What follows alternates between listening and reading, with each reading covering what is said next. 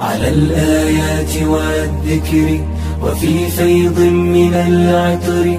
هنا رمضان مدرسة تنير مآثر الفكر. على الآيات والذكر وفي فيض من العطر. هنا رمضان مدرسة تنير مآثر الفكر. هنا رمضان مفتاح ودرب جاد بالخير يعانقنا فيمنحنا جمالا مشرقا يسري جمالا مشرقا يسري. تراويح ومغفرة تجود عليك بالأجر وصوم فيه مرحمة به الحسنات كالقطر به الحسنات كالقطر. على الآيات والذكر وفي فيض من العطر. هنا رمضان مدرسة تنير مآثر الفكر. على الآيات والذكر وفي فيض من العطر. هنا رمضان مدرسة تنير مآثر الفكر.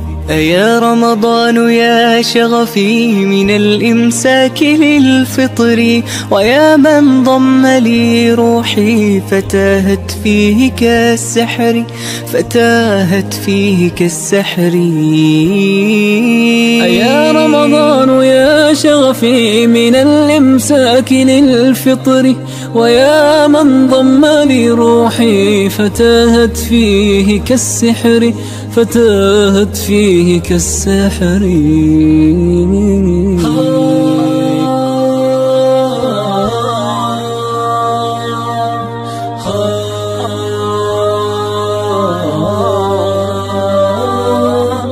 Oh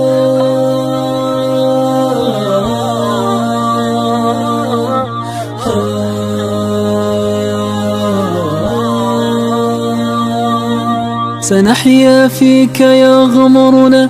كتاب الله بالذكر سنحيا فيك يغمرنا. كتاب الله بالذكر. كتاب الله. كتاب الله.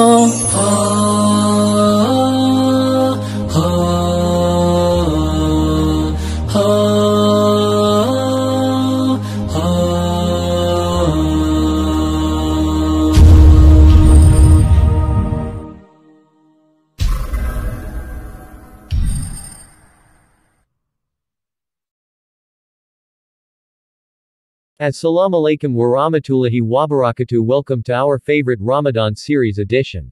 Ramadan Pills with Khidr Ibrahim. So, to the first question on this episode. How sick do you have to be to skip fasting? أعوذ بالله من الشيطان الرجيم والصلاة والسلام على رسول الله محمد الأمين وعلى آله وصحبه أجمعين رب اشرح لي صدري ويسر لي أمري واحلل عقدة من لساني قولي So the question how ill can someone be to skip fasting? A person who is ill, which maybe fasting would cause harm to the body, to his or her body, or increase the illness, or hinder the recovery of the illness, then this person is excused from fasting although it's gonna pay back after Ramadan when after the illness when it's fine. But these can only be determined by a doctor. So you have to see a doctor. And so we don't assume some illness to ourselves. Because we know that fasting do cause some discomfort to us. So we might mistake them for illness. No, just little cough or just a little fever shouldn't stop you from fasting. Because fasting does not affect it. So we should see a doctor, determine the kind of illness, if we can fast or we cannot fast. Hope this answers the question.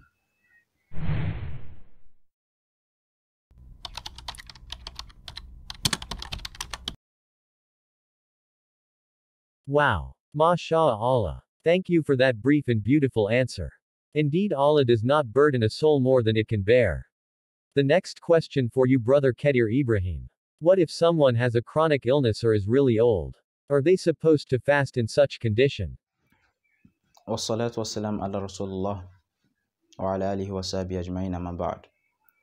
So what if someone has a chronic illness or is really old? This person who has a chronic illness or a very old person is excused from fasting. Because uh, with the situation he or she cannot fast. But he or she would have to feed one person every day of fasting averagely average meal two times in a day.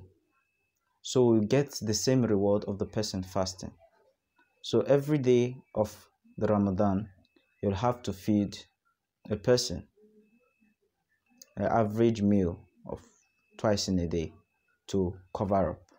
And with this you got no issues with the fasting. Hope this answers the question